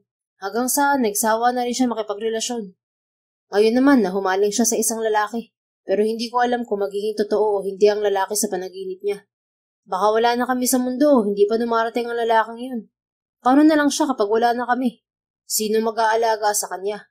Hindi naman siya maaalagaan ng lalaki sa panaginip niya. Kaya ligawan mo na siya at paibigin para maging panatag na kami na may makakasama siya sa pagtanda niya. Dad, wag mo naman akong ibenta kay Dos. Ngayon mo palang nakilala ang lalaking yan. Hindi natin alam na baka isa siya sa mga manluloko at nangongolekta lang ng girlfriend. Sa totoo lang, natouch si Angel sa sinabi ng daddy niya. Alam niyang nasasabi lang nito ang bagay na yon dala ng pagmamahal para sa kanya. Oo at marami na siyang nakarelasyon, pero humahantong yun sa pagkabigo. Kaya nagpasya siyang tumigil na lang at hintayin ang tamang lalaki para sa kanya. At sigurado siyang hindi si Dos yun, dahil malayo ito sa lalaking tipo niya. Ang gusto niya ay tulad ng lalaki sa panaginip niya. Maginoo at malambing. Hindi kita binibenta, anak. Marunong lang akong kumilatis ng tao at magaan ang loob ko kay Dos. Oo nga, anak. Magaan ang loob namin kay Dos. At magiging panatag kami kung magkakasundo kayong dalawa at magkakaibigan. Segundang sang-ayon ng mami ni Angel. Sandali lang po. Ano po yung tinutukoy niyong lalaki sa panaginip ni Angel? Tanong ni Dos habang nakatingin sa daddy ni Angel. Obses ang nag-iisa naming anak sa lalaking laman lagi ng panaginip niya. Yun daw ang kasintahan niya. Natatakot na nga kami baka may sakit ng anak namin. Ayaw naman niya magpatingin sa doktor. Saad ng mami ni Angel. Ngayon lang narinig ni Angel ang saloobin ng mga magulang tungkol sa panaginip niya. Akala niya masaya ang mga ito dahil nawala ang dati niyang hobby na gumimik tuwing gabi. Pero kapalit pala niyon ay ang pag-aalala ng mga ito sa hindi pangkaraniwang nangyayari sa kanya. Sa, sa opisina na lang po ako mag-aagahan. Magalang nasabi ni Angel sa mga magulang. Ayaw na rin niyang marinig ang sasabihin ng mga ito tungkol sa panaginip niya. Hindi rin niya maipaliwanag kung bakit siya nahumaling sa lalaki sa panaginip niya. Pagkatapos magpaalam sa mga magulang, umalis na si Angel sa kusina. Kinuha niya ang sasakyan sa garahe. Pagsakay niya sa driver's seat, bigla rin sumakay si Dos sa kotse niya. Hindi niya namalayan na sumunod sa kanya ang lalaki. Bakit narito ka na naman? Di makamakain ka pa? May bahid ng inis niyang tanong sa lalaki. Sasabay na ako sa'yo. Total, pupunta rin ako sa Majestic. At ano naman ang gagawin mo ron? Magbabayad ako sa painting na ginawa mo. Bakit ba hindi mo ako sinisingil? Nakalimutan ko tuloy. Pero kung ayaw mo naman, okay lang sa akin. Tumatanggap naman ako ng libre. Mahilig kasi ako sa libre. Pwede namang i-deposit na lang sa account namin ah. Bakit kailangan personal pa? Gusto kong personal payment eh. Bakit ba? Whatever. Nasaan bang sasakyan mo? Bakit hindi yun ang gamitin mo? Makikisakay ka pa rito. Reklamo niya. Hindi niya talaga gusto ang ideyang magkasama sila sa iisang sasakyan. Lalo pa ngayon na may artwork viewing sa gallery at maraming tao roon ngayon. Wala akong sasakyan at kung tatanungin mo kung paano ako nakarating sa bahay mo, nag-commute po ako. Kung tatanungin mo rin kung paano ko nalaman ng address mo, kinuha ko kay Ben. Kung tatanungin mo ulit kung bakit ako pumunta sa bahay mo, kasi sinabi ni Ben na masarap magluto ang mami mo, kaya gusto kong tikman. O ano, tanong ka pa ba? Sa dami ng sinabi mo, sa tingin mo may itatanong pa ako? Kung wala ka ng tanong, magmaneho ka na lang. Hindi rin ako lalabas sa sasakyan mo kaya wala kang pagpipilian kundi isabay ako. Nakangisi nitong sabi. Nakasimangot namang nagmaneho si Angel. Hindi siya pwedeng malate sa artwork viewing ngayon. Baka makalagpas ang mga prospect clients niya na sinadya pa niyang imbitahin para personal na dumalo ang mga ito. Pagkarating sa Majestic Art Gallery, mabilis at malalaki ang mga hakbang ni Angel papasok sa loob. Sinadya niyang iwan si Dos para walang makakita sa kanila na magkasama. Ayaw niyang manik ang pangalan niya sa kahit sinong lalaki, lalo na kay Dos na parang tambay sa kanto pumorma. Hindi naman niya minamaliit ang pagkatao nito. Alam niyang may sinasabi sa buhay si Dos para makuha nito ang serbisyo ng Majestic. May gwapo rin itong itsura. Kaya lang, hindi kagaya nito ang mga tipo niyang lalaki. Artist siya, pero para sa kanya ang pagpipinta ay sa papel lamang dapat ginagawa hindi sa katawan ng tao. Ngunit sino ba siya para tutulan ng kaligayahan ng kapwa niya? May mga tao na sa pagpapatato nakukuha ang kaligayahan, kaya wala siyang tutol roon. Basta ayaw lang niya na makita siya ng mga tao na may kasamang mukhang sangga ng tambay. Pagdating sa opisina ni Angel, sinalubong agad siya ni Ben at ibinigay ang schedule sa gaganaping artwork viewing. Na-review na niya iyon kahapon, pero pinasadahan pa rin niya ng tingin para hindi makalimutan ng ilang mga detalye. Inalam din niya kung anong oras darating ang mga espesyal na panauhin na inimbitahan niya. Anghel, bakit mo ko iniwan sa labas? Mabilis na bumaling si Angel nang marinig ang boses ni Do sa opisina niya. Mr. Lovendino, bakit ka narito? Doon ka sa labas maghintay. Taboy niya kay Dos, pero hindi ito nakinig. Sa halip, inilibot nito ang paningin sa loob ng opisina niya. Nakatuon ang pansin nito sa isang unfinished canvas doon. Yun ang painting ng lalaki sa panaginip niya na hindi pa niya nalalagyan ng muka. Iginuhit niya yon nang minsang mainip siya sa opisina. Tumayo si Angel at nilapitan si Dos. Hinarang niya ang katawan sa canvas para itago yun. Nasa labas si Ben. Siyang kausapin mo tungkol sa bayad mo. Marami kaming inaasikaso ngayon, kaya lumabas ka na bago pa dumagsa ang mga tao. Baka hindi ka niya maasikaso mamaya. Saad niya bago takpan ng puting tela ang canvas. Abala si Ben kaya pinapasok na niya ako rito. Ikaw na raw mag-asikaso sa akin. Sa ibang araw ka na lang bumalik. Marami pa akong gagawin. O kaya gaya ng sinabi ko kanina, just deposit the payment in our account. Maghihintay na lang ako rito sa opisina mo. Ikaw ang bahala. Hindi na nakipagtalo kay Do si Angel at lumabas na siya sa opisina para asikasuhin ang mga dumarating na bisita. Bilang art director, hindi dapat mawala ang kanyang presensya sa pagtitipon, kaya labis siyang napagod sa pag-iistima ng mga bisita. Worth it naman dahil satisfied ang mga ito at nakuha rin niya ang tiwala ng mga prospect clients. Excuse me, Miss Bautista. Formal na sabi ni Ben dahil nasa harapan sila ng maraming tao. Yes, may problema ba? Wala naman po, pero may bagong dating na painting mula kay Mr. Samlu. Regalo raw niya sa atin dahil mahuhuli siya ng dating ngayon. Sagot ni Ben. Si Mr. Samlu ang hinihintay ni Angel na biggest art collector sa bansa. Isa rin itong artist, pero mas kilala ito bilang art collector. Target niya rin itong makuha para maging regular client ng Majestic. Marami na rin itong nabiling painting sa kanila at karamihan doon ay mga gawa niya. Curious ako kung anong painting ang ginawa ni Mr. Samlu para sa Majestic. Saad ni Mr. Horizon, isa sa mga prospect client na nakuha niya ngayong araw. Kung hindi mo mamasamain, Miss Bautista, pwede mo bang buksan ng painting sa harapan namin? Request ng isang kliyente na pinagbigyan naman ni Angel. Sure, Mr. K. Ben, please ask to bring the painting here. Thank you. No problem, Miss Bautista. Sagot ni Ben bago senyasan ang dalawang staff. Binuhat ng dalawang lalaking staff ang painting. Dinala yun ng mga ito sa harap kung saan makikita ang lahat ng nilalaman niyon. Tinanggal ni Angel ang ribbon na bumabalot sa painting. Inalis din niya ang iba pa nitong balot. Napasinghap ang lahat ng masilayan ng painting. Tila napako naman sa kinatatayuan si Angel nang makita yon. Maging si Ben ay nag-aalalang tumingin sa kanya. Dahil ang painting sa harapan niya ay ang lalaking ginuguhit niya mula sa panaginip niya. Pero ang kaibahan lang ay may mukha na ito ngayon.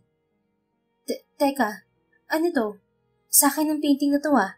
Bakit may mukha na siya? Bulalas niya dala rin ang pagkagulat. Anong nangyayari? Bakit may painting ako riyan? Nakuha ng boses na yon ang atensyon ng lahat. Tumingin din si Angel sa may-ari ng boses at nakita niya si Dos. Papalapit ito sa direksyon niya. Pinagmasdan nito ang painting na may mukha ng binata. Ginuhit mo ba ako nang hindi ko nalalaman, Miss Bautista? Nakangisi nitong tanong. Hindi kita ginuhit, Mr. Dos Samuel. Hindi ka ang lalaking yan. Isa pa, Galing to kay Mr. Samlu. Depensa niya. Talaga? Nakita ko rin ng painting na yan sa opisina mo. Sino kaya ang totoong artist ng painting na yan? Napakagaling naman niyang gumuhit dahil kuhang-kuha niya ang kagwapuhan ko. Ngumiti naman si Angel sa mga bisita. Baka ma-misinterpret ng mga ito ang painting at akusahan siyang nangungopia. Excuse me, maiwan ko muna kayo. Ben, ikaw muna bahala sa kanila at sa painting na to. Dos, sumama ka sa akin. Hinila ni Angel si Dos pabalik sa opisina niya. Baka kasi kung ano pang lumabas sa bibig nito kapag iniwan niya ito roon sa karamihan. Nagtaka naman ang binata sa biglaan niyang paghila rito. Bakit mo ko hinila pabalik dito? May kailangan ka ba, Miss Angel? Ikaw ha? Hindi ka pa nasiyahan sa nude painting ko. In-extend mo pa talaga. Masarap ba ako maging subject sa painting, Angel? Dos, please lang. Pwede bang umalis ka muna? Bumalik ka na lang bukas. O sa makalawa. Kahit sa susunod na linggo o buwan pa. Basta umalis ka muna rito ngayon, okay? Naglakad naman si Dos patungo sa visitor's chair sa opisina niya. Prente itong umupo at manli na pinagkuros ang hita. Bakit ako aalis kung ako mismo ang inimbitahan mo? Kumunot ang noon ni Angel. What do you mean? Sa pagkakaalam ko, ikaw ang nakisabay sa kotse ko papunta rito. Hindi kita inimbitahan. Oh, sayang naman. Sinayang ang pagkakataon para sa Majestic. Alam mo, hindi ka nakakatulong, Dos. Occupied na ang isip ko sa kung sinong naglagay ng mukha mo sa painting ko. Diretsuhin mo na lang ako dahil baka tuluyan ako mabaliw sa sinasabi mo. Tumayo si Dos at may kinuha sa bulsa. Isang papel ang inilabas nito mula roon at ibinigay sa kanya. Kahit nagtataka, tinanggap niya yun. Baka makatulong yan para masagot ang gumugulo sa isip mo, Miss Angel. Binuksan naman ni Angel ang papel at para siyang tinakasin ng bait sa nakita. I ikaw si Mr. Samnu? Paano nangyari yun? Gulat at naguguluhan niyang tanong. Hindi na yun mahalaga. Isipin mo na lang na tinulungan kitang lagyan ng mukha ang painting na hindi mo pa natatapos siguhit. Babalik na lang ako sa ibang araw. Paalam, Manghel. Dugtong nito bago lumabas sa opisina niya. Hindi pa rin makakilos si Angel sa natuklasan. Oo at nagulat siya sa katauhan ni Dos bilang art collector. Pero hindi yun ang iniisip niya. Iniisip niyang binaboy nito ang painting ng lalaking nasa panaginip niya. Nang maalala na naiwan si Do sa opisina niya kanina, nagmamadali siyang nilapitan ng hindi pa natatapos na canvas roon. Nalumo siya dahil nilagyan din ito ng mukha ang painting na naroon. Walang yaka, Dos. Binaboy mo ang painting ko. Sigaw niya at hindi matanggap na mukha ni Dos ang naroon. Ilang araw nang nakalipas pero hindi pa rin nawawala ang inis ni Angel kay Dos. Hindi naman to nagpapakita sa kanila. Pinadala lang nito ang cheque para sa kabayaran ng nude painting nito. Ang aga-aga nakasimangot ka na naman. Sarubong sa kanya ni Ben. Nakakainis kasi si Nakakainis kasi si Dos dahil binaboy niya ang painting ng Guy of Your Dream. Hindi mo matanggap na mukha niyang naroon. Nako sis, kabisado ko ng araw-araw mong ninyahan. So, kamusta si Guy of Your Dream? Hindi na ba bumibisita sa panaginip mo? Yun pa ang kinaiinisan ni Angel dahil hindi na niya nakikita gabi-gabi ang lalaki sa panaginip niya. Huhulaan ko, hindi na no. Nakatulong talaga si Dos para mawala ang lalaking yun sa panaginip mo. Congrats sis, normal ka na ulit. Masayang bati ni Ben. Naiinis namang umirap si Angel sa kaibigan. Samahan mo ko mamaya bakla. Night out tayo para mawala ang mga gumugulo sa isip ko. Okay, gusto ko yan. Matagal ka na rin hindi nag-night out. Buti naman at nagyaya ka ulit. Excited na sabi ni Ben. Tulad ng paanyaya ni Angel, lumabas sila ni Ben ng gabing yun. Uminom sila sa isang bar at nag-boy hunting.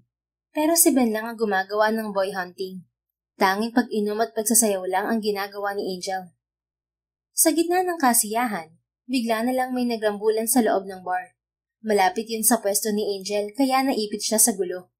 Hindi naman niya makita si Ben, kaya wala siyang mahinga ng tulong para makaalis doon. Oh my God, no! Lumayo ka sa akin! Natatakot niyang sigaw nang makita ang kakaibang ngisi ng isang lalaki habang papalapit sa kanya. Halika rito, miss. Hinaklit nito ang braso ni Angel. Tumindi siya at umiyak sa sakit dahil sa hawak nito. Bitiwan mo ako! Nasasaktan ako! Sigaw niya at sinusubukang bawiin ang braso sa mahigpit na pagkakahawak ng lalaki pero lalo siyang nasaktan. Sisipain na sana niya ito at gagamitan ng nalalaman niyang self-defense. Ngunit hindi inaasahan ni Angel nang may humaklit sa braso ng lalaking nakahawak sa kanya. Agad sumalubong ang isang kamuo nito sa lalaki na nagpabagsak dito. Hilam naman ang luha ni Angel nang tumingin sa taong nagligtas sa kanya. Dos? Paninigurado niyang sabi. Hindi naman maipinta ang mukha nito habang nakatingin sa kanya. Parang hindi nito nagustuhan na makita siya roon. Madaling araw na, bakit narito ka ba? Seryoso nitong tanong bago siya harangan mula sa lalaki. Uminom lang ako para natigilan si Angel sa pagpapaliwanag nang makitang sumugod kay Dos ang mga kasama ng lalaking sinuntok nito. Lumaban ito ng mano-mano sa mga kaaway. Naiwan si Angel na natitigilan sa kinatatayuan. Hindi siya makakilo sa takot kahit hahatawin na siya ng bote ng alak ng isa sa mga kaaway ni Dos. Isang malakas na paghila ang naramdaman ni Angel, kasunod ng dalawang bisig na pumalibot sa katawan niya. Tulala lang siyang nakatingin sa seryosong itsura ni Dos habang pinoprotektahan siya nito. Bahagyang sumilay ang ngiti sa labi ni Angel, pero napangiwi rin siya nang maramdaman ang sakit sa kanyang likuran. Nag-aalalang mukha ni Dos ang nakita niya kasabay ng panghihina niya. Anghel! Sigaw ni Dos bago tuluyang nagdilim ang paningin niya. Pamilyar na eksena ang muling nasilaya ni Angel. Isang magandang burol, mayabong na punong kahoy, at ang lalaking may blankong itsura na ilang araw na niyang hindi nakikita. Alam niyang nasa panaginip na naman siya dahil nakikita niya ito ngayon. Aking anghel. Sambit nito sa dalawang salita na lagi niyang naririnig mula rito. Nakayakap sa kanyang lalaki. Nakabikit naman siya habang dinadama ang paglalapit nilang dalawa. Masaya siya na mayroong pagbabago sa panaginip niya. Dati-rati ay tinatanaw lang niya ang lalaki, pero ngayon ay nahahawakan na niya ito. Kailan ko ba masisilayan ng iyong mukha aking anghel? Mahina niyang sabi habang nakayakap din sa lalaki. Marahan naman itong kumalas sa yakap niya. Liwanag ang nakita niya sa mukha nito nang tumingin siya. Aking anghel, Muli nitong sabi habang unti-unting inilapit ang mukha sa kanya. Pumikit si Angel at muling dinama ang mainit nitong halik. Nagmulat siya ng mga mata nang maglayo ang mga labi nila. Napasimangot siya nang muling makita ang mukha ni Dos. Panira ka naman ng panaginip, Dos eh. Ano bang ginagawa mo rito? Hahampasin niya sana si Dos nang matigilan siya. Nasa harapan niya si Dos, pero nakikita niya sa likuran nito ang malaking puno ng akasya. Hindi rin nagbagong kasuotan nito tulad ng lalaki sa panaginip niya. Ang kamay na ihahampas niya sana kay Dos ay naitutok niya sa sariling bibig nang mapagtanto ang nangyayari. Namimilog ang mga mata niya habang nakatingin sa lalaking nakangiti sa kanya. Aking anghel, sambit ng lalaki sa panaginip niya. Ikaw si Dos? Bulalas niya. Mula sa burol, nagbago ang eksena at napunta yun sa bar. Yakap siya ni Dos at pinoprotektahan mula sa mga kaaway nito. Pero tinamaan ng bote ng alak si Dos taliwas sa totoong nangyari. Dos! Sigaw niya kasabay ng pagbalikwas. Impit na daing ang sunod na namutawi sa bibig ni Angel nang sumakit ng kanyang likuran. Anak, kamusta ang pakiramdam mo? Nag-aalalang tanong ng mami niya. Inilibot ni Angel ang paningin. Napagtanto niyang nasa ospital siya kasama ang nag-aalala niyang mami. Mom, what happened? Tanong niya rito. Hinawakan ng ginang ang kamay ni Angel. Hindi nito itinago ang pagpatak ng luha dahil sa nangyari sa kaisa-isang anak. Naaksidente ka sa bar kasama si Ben. Akala ko mawawala ka na sa amin ng daddy mo. Mabuti na lang ligtas ka na anak. Umiiyak nitong tugon. Mom, okay lang po ako. Kamusta si Ben? Nasaan siya? Pinahid ng ginang ang tumulong luha sa pisngi. Okay lang si Ben. Siya ang tumawag sa amin at siya rin ang nagdala sa iyo sa ospital. Si, si Dos po, nakita niyo po ba siya? Hindi naman sumagot ang ginang. Tahimik lang ito. Mom, sabihin mo, nasan si Dos? Muli niyang tanong. Hindi niya alam kung bakit kinakabahan siya ngayon. Parang may masamang nangyari na hindi niya alam. Si Dos kasi, muntik na niyang mapatay ang lalaking humampas sa'yo ng bangko na inaanak pala ni Congressman. Kaya nakakulong si Dos ngayon. Hinihintay pa niyang dumating ang abogado niya para makalaya siya. Ma'am, puntahan po natin siya. Gusto ko siyang makita. Nag-aalala niyang sabi. Parang bula na naglaho ang inis niya kay Dos at napalitan yun ng labis na pag-aalala. Sige, tatanungin ko lang ang doktor kung pwede ka nang lumabas ngayon. Hintayin mo ako ha? Sige po. Naghintay si Angel habang kinakausap ng mami niya ang doktor. Nang makakuha ng permiso, pumunta sila sa presinto. Pero hindi na nila nakita roon si Dos. Inilabas na raw ito ng abogado at mga kapatid nito. Nanlulumo naman si Angel na bumalik sa ospital kasama ang mami niya. Hindi man lang siya nakapagpasalamat kay Dos dahil sa pagliligtas nito sa kanya. Samantala, bumalik si Dos sa kanyang kondo kasama ang mga kapatid pagkatapos siyang piyansahan ng mga ito. Nagtipo-tipo ng mga ito sa salas. Nakaupo ang mga ito sa nag-iisang sofa maliban kay Uno. Nagtatawanan si Tres at Atro samantalang tahimik pa rin tulad ng dati si Uno. Nakapagtataka naman ang pagiging tahimik ni Dos nang napansin ni Tres. Kuya Dos, bakit ang tahimik mo yata? Parang hindi ka sanay na makulong at mapaaway ah. May problema ba? Tanong ni Tres. Huminga ng malalim si Dos bago tumayo. Lumapit ito sa dating working place ni Angel sa salas na may nakatayong wooden stand at painting materials ngayon. Umupo ito at kinuha ang paintbrush. Anong problema ng isang yun? Nagtatakang tanong ni Tres. Malalaman natin ang gumugulo sa isip ni Dos pagkatapos ng gagawin niya. Baliwalang sabi ni Uno na umupo sa pwesto ni Dos sa sofa. Nagtaka ang tatlo nang muling tumayo si Dos. Lumapit ito sa kanila dala ang isang frame na nababalutan ng papel. Kuya Uno, para sa'yo. Birthday gift ko. Happy birthday. Walang buhay na sabi ni Dos. Next month pa ang birthday ko. Ano bang iniisip mo nakalimutan mo na naman yun? Tanong ni Uno na tinanggap din ng binibigay na regalo ni Dos bago yun buksan. What the heck, Dos? What is this? Did you paint yourself? Bulalas na tanong ni Uno nang makita ang nude painting ni Dos. Kuya Uno, kilala ko kung sino gumawa niyan. Guhit yan ng babaeng iniligtas ni Kuya Do sa bar at naging dahilan kaya nakulong siya. Anak yun ni Mr. Bautista na dating may-ari ng Majestic Art Gallery kung saan siya bumibili ng mga paintings. Doon niya inuubos ang ipon niya. Sagot ni Tres. Binalik na lang ni Uno sa pagkakabalot ang frame at baliwalang inihagi sa sahig. Inabala mo pang ibang tao para bigyan ako ng inis. Wala namang laban ng katawan mo sa ganda ng katawan ko. Ano bang iniisip mo at niregaluhan mo ko ng ganyan? Kagaguhan mo talaga. Akala mo naman maiingit ako sa katawan mo.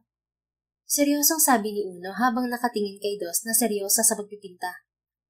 Hindi ito pinansin ni Dos na abala sa ginagawa. Naaalala ko na. Siya ang binansagang anghel ni Kuya Dos na gumawa ng mga art collection niya sa kwarto, di ba? Biglang sabi ni Atro. Siya nga yun. At mukhang siya rin ang gumugulo sa isip ni Kuya Dos ngayon. Sagot ni Tres. He's a fan of her. Hindi natin makakausap yan kapag seryoso siya sa pagpipinta. Bumalik na lang tayo sa bukid. Hihintay ako ni Janelle dun. Muling sabi ni Uno at tukay sa asawa nito. Mabuti pa nga, umalis na tayo. Uuwi rin yan pagkatapos ng ginagawa niya. Akala ko pa naman kung anong ginagawa niya rito at ilang linggo na siyang hindi nagpapakita sa atin. Nagpapapansin lang pala sa babae. Natatawang sabi ni Atro. Tumayo ang tatlo at lumabas sa kondo ni Dos. Hindi na nila inabala sa ginagawa ang lalaki dahil parang nalunod na ito sa ginagawang pagpipinta. Bad boy man si Dos at walang takot noon sa pakikipagbasag ulo, pero kapag humawak na ito ng lapis, walang takot itong guguhit hanggang sa matapos ang ipinipinta. Ang pagpipinta ang naging kaligayahan nito sa tuwing nag-iisa, at mas lalo pa nga itong naging masaya at inspired nang makilala si Angel. Dalawang linggong nakalipas pagkatapos ng aksidente sa bar pero si Dos ay wala pa rin palya sa paglalasing at pakikipag-away. Kasalukuyan itong nasa isang beer house malapit sa kanilang barangay at may binugbog na tatlong lalaki. Kasama ni Dos ang mga kapatid na lalaki pero hindi nakikialam ang mga ito at patuloy lang sa pag-inom. Pag-ibig nga naman, nakakabaliw lalo na kapag nabasted tulad ni Kuya Dos. Saad ni Atro na sinadyang iparinig sa kapatid. Hindi naman nakaligtas sa pandinig ni Dos, pero hindi nito pinansin at patuloy lang sa ginagawang pakikipag-away. Huwag niyo kasing inahamon ng away ang broken-hearted na bad boy. Ipapalaban talaga kayo sa kanya. Kahit bouncer, hindi yan mapipigilan sa pagwawala. Segunda naman ni Tres. Cheers for his first heartbreak! Baliwalang sabi ni Uno na agad pinatulan ni Tres at Atro. Cheers! Sigaw ni Tres at Atro. Nang hindi na lumalaban ng mga kaaway ni Dos, bumalik na rin ito sa mesa. Inagaw nito ang baso ng beer ni Uno at inubos ang laman niyon. Pabagsak nitong binitiwan ng baso sa mesa pagkainom. Kaya pa ba, Kuya Dos? Tanong ni Tres habang tinatapik sa balikat si Dos. Ako pa ba? Hindi ako magpapatalo sa mga gagong yan. Mayabang na sagot ni Dos. Hindi sila ang tinutukoy ko. Ang puso mo, brother. Muling sabi ni Tres. Anong meron sa puso ko? Maayos pa rin naman ang tibok nito ah. Sagot ni Dos bago muling nagsalin ng beer sa baso na inagaw kay Uno. Akala ko broken-hearted ka. Tanong naman ni Atro. Natawa naman si Dos. Broken-hearted? Sino? Ako? Sino may sabi? Hindi pa nga ako gumagawa ng hakbang sa isang babae, broken-hearted na agad. Sabi ni Kuya Uno, broken-hearted ka raw kaya bumalik ka rito sa barangay Sulayan. Pambibisto ni Tres sa pangani na kapatid. Bumaling naman si Dos kay Uno. Saan mo naman nakuha yun, Kuya Uno? Nagkaasawa ka lang, naging chismoso ka na. Inasahan ko na bagay na yan. Hindi ka naman pinapansin na babaeng hinahangaan mo eh. Hindi ka rin marunong manligaw, kaya uuwi kang luhaan kapag gumawa ka ng hakbang na ligawan siya. Sagot naman ni Uno habang umiinom sa mismong bote ng beer na in-order nila. Watch me, Kuya Uno. Ipapakita ko sa'yo kung paano manligaw ang isang Dos Samuel. Pinyong sabi ni Dos na may ngisi sa labi. Na-excite naman si Tres at Atro gusto nilang masaksihan kung paano manligaw ang kapatid nilang hindi pa nararanasan manligaw sa buong buhay nito. Hindi nga nila nabalitaan na nagkaroon nito ng girlfriend. Kaya ngayon, aabangan nila kung uuwi talaga itong luhaan tulad ng sinabi ni Uno o mapapasagot nito ang babaeng hinahangaan. Si Dos ang bad boy na hindi babaero, kaya wala pang nagiging nobya. Pero lahat naman sila ay hindi kinahiligan na mambola ng babae. Basag ulo lang talaga ang hilig nilang magkakapatid. Itinatak sa kanila ng kanilang mga magulang na may kapatid silang babae, kaya hindi sila dapat magpaiyak ng sino mong babae dahil baka raw danasin ni Love yun. Samantala, lihim namang umisi si Uno. Sinadya niyang sabihin ang bagay na yun para kumilos ang kapatid niya. Ang bagal kasi kaya kailangan niyang i-provoke ang self-confidence ni Dos. Panahon na para magparamdam ito sa babaeng hinahangaan ito. Dalawang buwan ang mabilis na lumipas pero kahit anino ni Dos ay hindi nakikita ni Angel. Pero lagi naman itong laman ng panaginip niya. Gabi-gabi ay parehong eksena ang nakikita niya. Ang buron, punong akasya, at ang lalaking may mukha ni Dos. Hindi niya alam kung si Dos mismo ang lalaki o ibang tao. Naguguluhan siya kaya nagdesisyon siyang magpasuri sa isang psychologist. Isang negatibo at positibong resulta ang dala niya pagkatapos ng ilang pagsusuri sa kanya. Positibong hindi siya nasisiraan ng bait dahil ayon sa doktor, nangyayari talagang ganoong bagay sa isang tao. Maaaring resulta raw iyon ng pinagdadaanan niya sa buhay, kagaya na lang ng mga nagdaan niyang relasyon. Pilit niyang tinatakasan ang realidad na lagi siyang nasasaktan sa pag-ibig. Kaya nakabuo ang isip niya ng isang lugar na makakamit niya ang totoong pagmamahal. May pagkakataon din daw na laging nakikita sa panaginip ang taong laging laman ng isip. Marahil yun ang dahilan kaya lagi niyang nakikita si Dos sa panaginip. Dahil laging ito ang laman ng kanyang isip. Ang negatibo naman ay kailangan niyang itago o itapon ang bagay na laging nagpapaalala sa kanya para paulit-ulit na makita ang parehong panaginip na yon. Malungkot niyang hinawakan ng kulay puting tela na tumatakip sa canvas sa opisina niya. Yun ang painting ng lalaki sa panaginip niya na nilagyan ni Dos ng sarili nitong muka Katabi niyon ang regalong painting ni Dos bilang si Mr. Samdu sa Majestic. Napag-alaman niyang kinuha ni Dos ang painting na yon sa sketchpad na naiwan niya sa kondo nito habang ginagawa niya ang nude painting nito. Nagkaroon ka nga ng mukha sa panaginip ko, pero hindi naman kita nasisilayan sa personal. San ka pa pumunta? Kahit sa kondo mo wala ka. Mahina niyang sabi habang pinagmamasdan ang nakangiting mukha ni Dos sa painting. Siguro hanggang sa panaginip na lang kita makikita. Binalik ni Angel ang telang tumatakip sa painting. Nagdesisyon na siyang itago ang mga yon.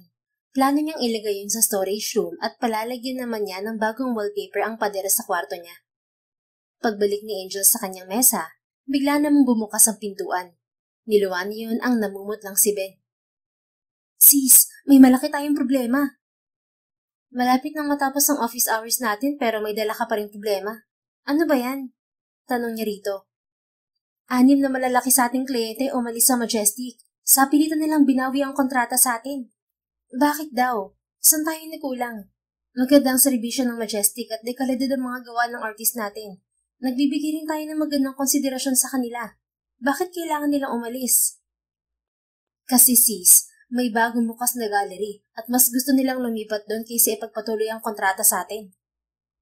Bagong bukas na gallery? Wala ako nabalitaan na may nagbukas na gallery ngayong buwan. Meron sis. Ngayong gabi nga ang opening nila eh. Medyo kakaiba kasi gabi nila napiling magbukas. At siguradong pupunta raw ng mga kliyente natin. Gusto mo bang pumunta tayo? Alamin natin kung bakit gustong lumipat ng mga kliyente natin sa kanila. Sige, maghanda ka. Pupunta tayo. Titingnan ko kung makatwiran ba ang pag-iwan ng mga kliyente sa Majestic. Sige, off ko lang ang computer ko at gora na tayo. Saad ni Ben bago lumabas sa opisina niya. Nag-retouch naman ng makeup si Angel. Sinigurado niyang maganda siya para ipakita sa mga kliyenteng yon na hindi siya naapektuhan sa pag-alis ng mga ito sa Majestic. Papatunayan niyang nagkamali ang mga ito sa desisyong iwan sila. Nang gabing yon, dumalo si Angel sa opening ng bagong bukas na gallery kasama si Ben bilang isa sa mga customer. Bahagyang humanga si Angel sa mga nakadisplay na painting doon. Mukhang magaling din ng artist ng bagong bukas na gallery. Hindi lang naman magagandang paintings ang nakita niya. Dahil nakita niya rin doon ang mga umalis na kliyente ng Majestic. Miss Bautista, I'm glad to see you here. Did you enjoy the painting? Bati sa kanya ni Mr. Horizon. Isa ito sa tumalikod sa Majestic para lumipat sa bagong bukas na gallery na yon. Ngumiti si Angel at formal na binati rin pabalik ang matanda. So far, wala akong ituloy kabigin sa mga painting, Mr. Horizon. Magaganda silang lahat, kaya marahil nagdesisyon kayong iwan ng Majestic dahil dito. Nakangiti niyang sabi, pero may tagong panunumbat sa kanyang mga salita. I'm sorry about it, Miss Bautista. Hindi ko lang talaga kayang tanggihan si Mr. Dos Samuel Ovendino. Nalaman ko kasi na siya rin si Mr. Sam Lu na isang bigating art collector. Sino ba naman kami para tanggihan ang hiling niya? Nagtaka naman si Angel kung bakit nadawit sa usapan si Dos. Paano mo nakilala si Mr. Dos Samuel? Hindi mo ba alam na siyang may-ari ng bagong bukas na galering to? Oh my, really? Kaya pala ang gaganda ng mga paintings kasi si Mr. Sam Lu ang may-ari ng gallery. Sagot niya na may peking ngiti. Hindi siya natutuwa dahil ilang buwan niyang hindi nakita si Dos. Tapos ngayon mukhang kinakalaban pa nito ang Majestic. Hindi lang ito nagtayo ng bagong gallery. Kinuha pa nito ang kanilang mga kliyente. Siguro, ito talaga ang plano ni Dos kaya lumapit sa kanya. Gusto nitong pag-aralan ng kilos nila para matalo sa negosyo. Dad! Sabay na bumaling si Angel at Mr. Horizon sa paparating na babae. Ito si Lila, ang dalagang anak ni Mr. Horizon. Sinalubong naman ng ginoo ang anak at nag-usap ang dalawa. Pero hindi roon nakatuon ng paningin ni Angel, kundi sa lalaking kasama ni Lila na nakatingin din sa kanya. Aking anghel. Ang mga katagang yon ang agad na pumasok sa isip ni Angel nang makita si Dos. Panihim siyang bumuntong hininga para kumalma ang sarili at alisin sa isip ang mga katagang lagi niyang naririnig sa lalaki mula sa panaginip niya. Ayos ka lang ba? Mahinang tanong ni Ben sa tabi niya. Ayos lang ako, Ben. Medyo sumakit lang ang ulo ko. Gusto mo bang umuwi na lang tayo? Eh, hindi. Okay lang ako. Huwag kang mag-alala, tatapusin natin ang event na to. Nakangiti niyang sagot, pero naging pilit ang ngiti niya nang marinig ang boses ni Dos. Hay, mabuti nakarating kayo sa event na to. Kamusta ka na, Miss Bautista? Tanong ni Dos sa kanya. Medyo nanibago siya sa formal nitong pakikipag-usap sa kanya. I'm doing fine. By the way, congratulations, Mr. Dawsonwell. I'm wishing the best of luck to your gallery. Formal din niyang sabi. Thank you, Miss Bautista. Sana dumalo rin kayo sa auction mamaya. Baka may magustuhan ka sa mga painting na ipapakita ko. Nakangiting sabi ni Dos. Sure. Sang-ayon na lang niya para matapos na ang pag-uusap nilang dalawa. Habang tumatagal kasi ay hindi siya mapakali sa paraan ng tingin nito. Parang hindi na ito kumukurap. Great. See you later. Saad nito bago umalis kasama ang mag-amang Horizon. Napahawak naman si Angel sa braso ni Ben nang makaalis si Dos. Nakakapanghina bang intense niyang mga tingin, sis? Mutig na rin malaglag ang panty ko eh. Biro ni Ben sa kanya. Tinabik naman niya ang braso nito. Tigilan mo ako, Ben. Pumunta na lang tayo sa venue ng auction. Baka maubusan tayo ng upuan. Sagot na lang niya. Pero sa isip niya ay umaasa siyang magkaroon ng love sa pagitan nila ni Dos. Hindi lang sa panaginip, kundi maging sa personal nilang mga buhay. Inaamin niyang sa kabila ng pagkadisgusto niya sa mga tattoo at pagka-rugged ng pormahan ni Dos, ay hindi naman niya maikakailan na simula nang iligtas siya nito sa bar, ay bigla siyang humanga rito.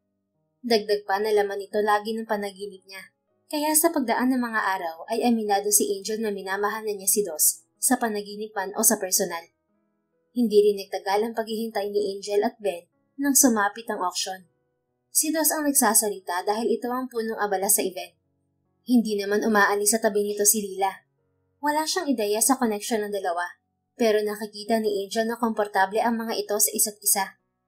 Mataman siyang nanonood pero lagi siyang umiiwas ng tingin sa tuwing napupunta sa kanya ang tingin ni Dos. Naiilang siya sa paraan ng tingin nito. Tila may malalim itong pakahulugan. Ladies and gentlemen, this is the last three paintings for tonight that I made recently. But this painting is not for sale. This is exclusively owned by yours truly. Gusto ko lang ipakita sa inyo dahil natapos ko itong gawin sa loob ng tatlong araw. Ganun ako ka-inspire habang ginagawa ang painting na to. Anunsyo ni sa mga tao sa auction. Sa dami ng mga ipinakitang paintings, walang nagustuhan si Angel. Magaganda naman ng mga painting pero wala talaga siyang magustuhan sa mga yon. Ben, umalis na tayo. Bulong naman ni Angel sa kaibigan nang mawala na siya ng gana sa nangyayaring event. Kanina pa nga kita hinihintay na magyaya umalis eh. Nabuboring na rin ako rito. Halika na. Sabay silang tumayo ni Ben, pero nakayoko silang umalis patungo sa exit para hindi maistorbo ang ibang nanonood sa auction. Akala ko kasi may magugustuhan ako sa mga painting, pero wala akong nagustuhan. Wika ni Angel habang naglalakad sila patungo sa exit. Pero naririnig pa rin nila ang boses ni Dos dahil sa gamit nitong mikropono. Ang painting na to ay tinatawag kong Aking anghel. Dinig niyang sabi ni Dos. Natigilan sa paghakbang si Angel. Kusa ring gumaling ang katawan niya para makita ang tinutukoy na painting ni Dos na tinatawag nitong aking anghel. OMG sis, bakit ikaw ang nasa painting ni Dos? Gulat na tanong ni Ben. Tila kinikilig pa ito. Nagulat din si Angel nang makitang painting niya ang nakalagay sa tatlong frame na nasa harapan ng mga tao. Yun ang eksaktong ayos at suot niya habang pinipinta ang hubad na katawan ni Dos sa kondo nito. Meron din habang natutulog siya sa kama nito at ang huli ay sa loob ng opisina niya.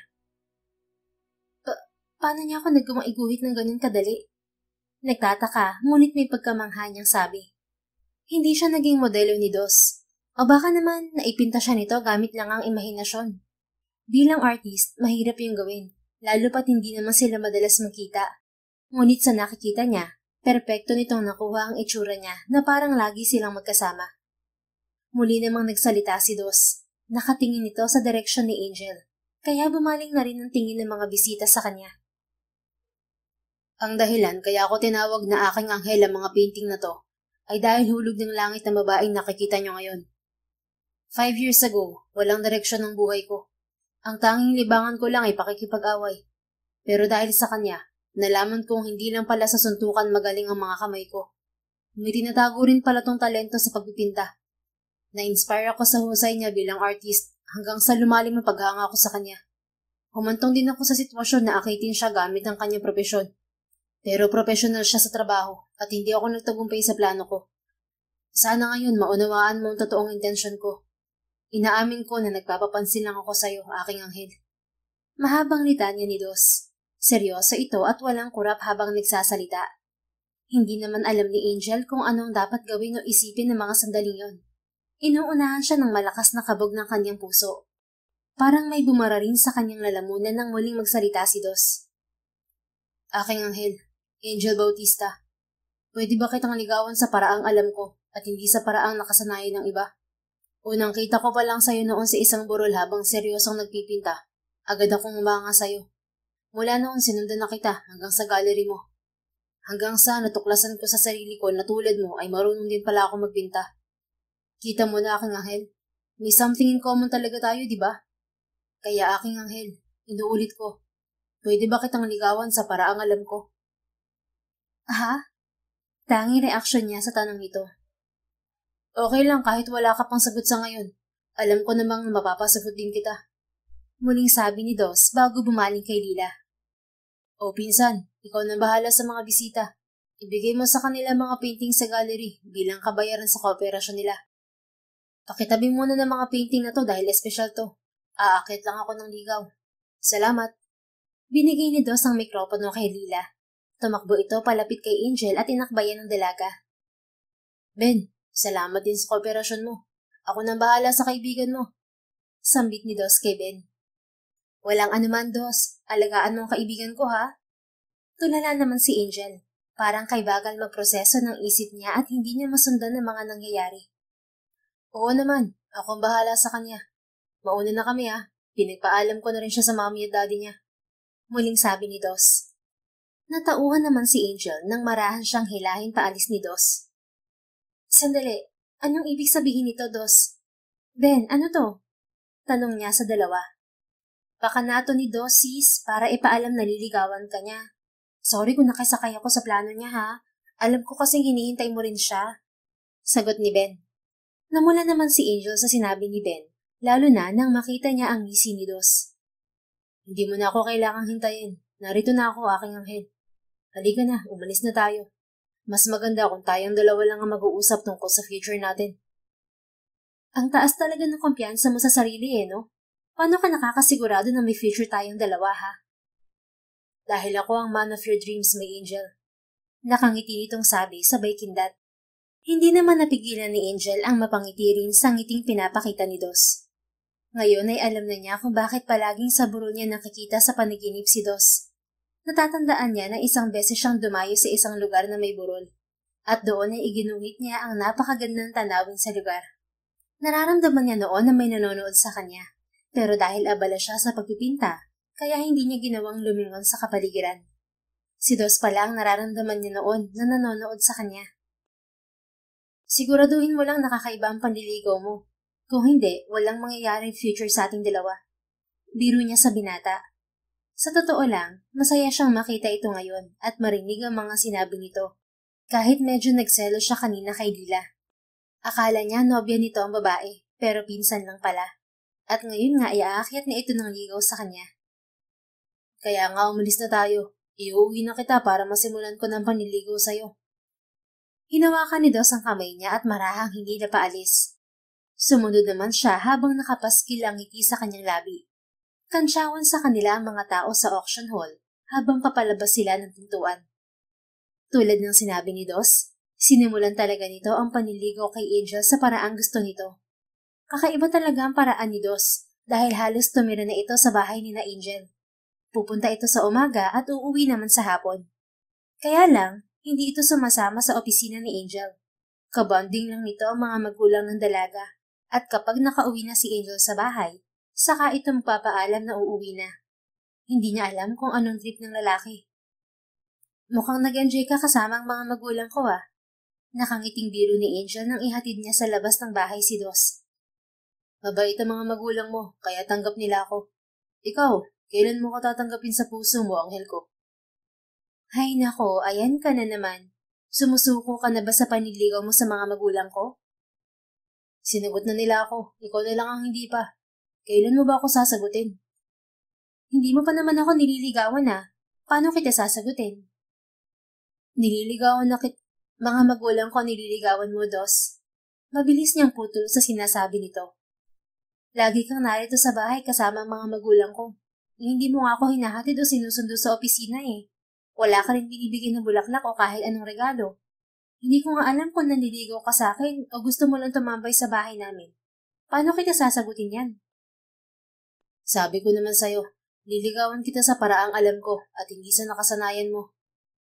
Ano bang paraan ng isang dos Samuel Vendino sa panliligaw? May mga kakaibang paraan ba ang kagaya mong bad boy sa paraan ng hindi bad boy na manliligaw? Sige nga, sabihin mo sa akin.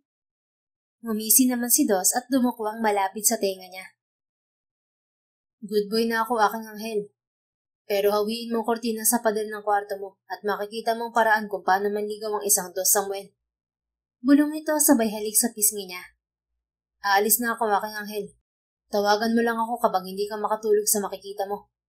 Paalam nito bago sumakay sa kotse. Sumimangot naman si Angel habang tinatanaw niya ang papalayong kotse ni Dos. Bumalik lang siya sa loob ng bahay nang mawala ito sa paningin niya. Pumasok siya sa kwarto at sinunod ang sinabi ni Dos.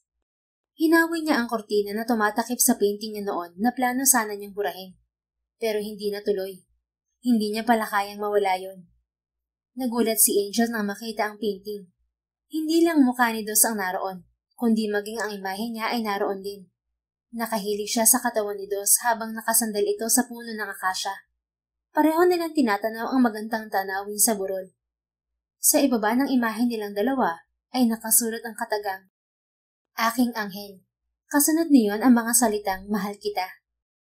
Napangiti si Angel at may mumunting luha na pumatak sa pisngi niya.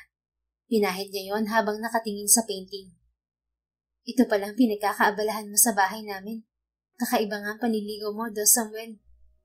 Kinuha ni Angel ang cellphone niya Tinawagan niya si Dos dahil siguradong hindi siya makakatulog kapag hindi niya nasabi ang gustong sabihin dito. Hello? Wrong number. Sagot ng mula sa kabilang linya kasabay ng pagpatay na yon. Nagtaka naman si Angel kaya tumingin siya sa screen ng cellphone niya. Tama naman ang number na pinindot niya. Sinubukan niya ulit tawagan si Dos. Mabilis naman itong sumagot sa kabilang linya. Tres, ibalik mo sa akin ang cellphone ko. Pag pinitay mo pa ang tawag na yan, papalayasin ko kayo sa kondo ko. Nagbabantang boses ni Dos ang narinig ni Angel sa kabilang linya. Bakit kasama kami? Siya lang ang palayasin mo, Kuya Dos. Nanahimik kami ni Kuya Uno rito kahit sadya na siyang tahimik. Sagot naman ng isa pang boses. Miss, sabihin mo na lang ang sasabihin mo kay Kuya Dos. Nakaset naman ang loudspeaker sa cellphone niya eh. Sabi naman ng panibagong boses. Nahiya naman si Angel kung sasabihin niya ang gustong sabihin kay Dos dahil marami itong kasama sa bahay. Ngunit naisip naman niya na kung mahal mo ang isang tao, ipagsigawan mo at maging proud ka. Dos Samuel, sinasagot na kita. I love you too. Katahimikan ang narinig ni Angel sa kabilang linya, kasunod ng malakas na tunog. Ah, anong nangyari? Tanong niya. Si Kuya Dos bumagsak. Sagot ng boses sa kabilang linya. Bumagsak? Bakit? Bumagsak sa kilig. Sambik nito kasunod ng tawanan ng mga boses. Aking anghel, hintayin mo ko riyan. Pupuntahan kita. Sambit ni Dos bago naputol ang linya. Ang isang oras na biyahe mula sa kondo ni Dos patungo sa bahay ni na Angel ay ginawa nitong 30 minuto lang. Narinig na lang ni Angel ang pagbusina nito sa labas ng kanilang bahay. Nagmamadali naman siyang lumabas para pagbuksan si Dos. Pagkakita pa lang ni Dos sa kanya ay agad siya nitong sinalubong ng yakap at mainit na halik. I love you, aking anghel. Madamdaming sabi ni Dos sa pagitan ng paghalik sa kanya. I love you too, aking anghel. Hindi ka na isang panaginip ngayon dahil totoo ka na, Dos. You're the man in my dreams na matagal ko nang hinihintay na magkatotoo. Ngumiti si Dos at muli siyang hinalikan. Gusto mo bang maging tuluyan ng makatotohanan ng panaginip mo, aking anghel? Ha? Totoo na nga po, di ba? Yes, but I want your dream to be finished with a happy ending. What do you mean? Marry me, aking anghel. I know this is too rush, but I love you so much. I promise na hindi mo pagsisisihan na sinuklian mo pagmamahal ko. Kung nagawa mo kong iguhit mula sa panaginip mo, iguguhit naman kita dito sa buhay ko at sa puso ko habang buhay. I want you to be mine forever, my angel. Marry me, please. Sabay luhod ni Dos at may inilabas na singsing. Nasipat ni Angel na kinikilig na nanonood sa kanila ang mga magulang niya. Nasusundan niya ang buka ng bibig ng mga ito at inuutusan siya na mag-yes na. Binalik niya ang tingin sa nakaluhod na nobyo. Ngumiti siya rito ng matamis bago sumagot. Oo, pakakasal ako sa'yo, Dos. Tumayo ka na riyan. Sa saya ay napasigaw si Dos ng yes. Nag-thumbs up pa ito sa mommy at daddy ni Angel. Kaya alam na ni Angel na may basbas na mga magulang niya ang proposal na ito ni Dos. Marahil ay matagal na itong plano ni Dos at ng mga magulang niya. Salamat aking anghel. Mahal na mahal kita. Promise na poprotektahan kita at paliligayahin sa piling ko. You will never regret to marry me. You will experience the way of Dos Samuel taking care of his angel. Talaga? Ano na namang way yan ng isang ex-bad boy, ha? Basta, Malalaman mo yan kapag kasal tayo, aking anghel. Sige, pero kahit ano pa man yan, ang gusto ko lang ay umiwas ka na sa gulo. Ayos ba tayo ron? Mas gusto kong magpinta ka na lang palagi kasama ko. O kaya ay tulungan ng mga kapatid mo sa may kabuluhang bagay kaysa makipagbasag ulo ka. Yes po, my angel. Pero sana payagan mo pa rin akong uminom kasama mga kapatid ko ah. Oo naman, basta inom lang ng tama ha, at walang basag ulo. Yes, my angel. Basta sinabi ng misis ko, palaging masusunod. Sira, gusto mo bang kantsawan ka ng mga kapatid mo na under ka? Wala akong pakialam. Basta ang mahalaga ay happy tayo, aking anghel. We will produce 12 sets of kids. Kinurot ni Angel sa tagiliran ng nobya. Grabe sa 12 kids ha. Payag ako basta ikaw ang magbuntis at mga anak. Napahalakhak si Dos. Biro lang. Kahit dalawa o tatlo lang na anak, okay na ako, may angel. Anak agad talaga? Hindi mo pa nga alam kung kaya mong gumawa ng bata. Biro ni Angel dito. Aba, nakita mo na naman ang alaga ko, di ba? Matikas at malusog, kaya pihadong mabilis tayong magkakababy. Namula naman si Angel dahil naalala bigla noong araw na ipininta niya si Dos na walang saplot. Well, tingnan natin kung hanggang saan ang tikas niyang pinagmamalaki mo, Dos Samuel. Sige ba? Kung gusto mo ngayon din ay simulan na nating i-train. Sira ulo, puro ka talaga kalokohan. Walang kasal, walang ganun, okay? Virgin bride ako, kaya umayos ka, Dos ha? Nagbabaka sakali lang naman aking anghel. Maghihintay ako hanggang sa honeymoon natin. Ang mga ginoong katulad ko ay handang maghintay kahit gaano katagal. Lalo pat mahal na mahal kita.